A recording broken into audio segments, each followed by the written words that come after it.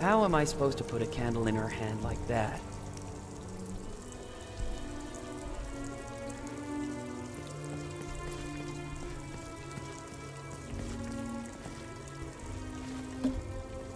The candle represents Kira. Nothing.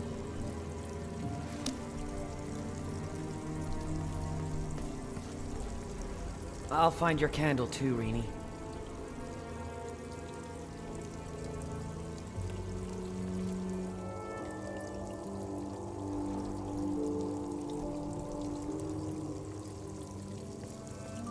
She's holding her lifeline. I take the water.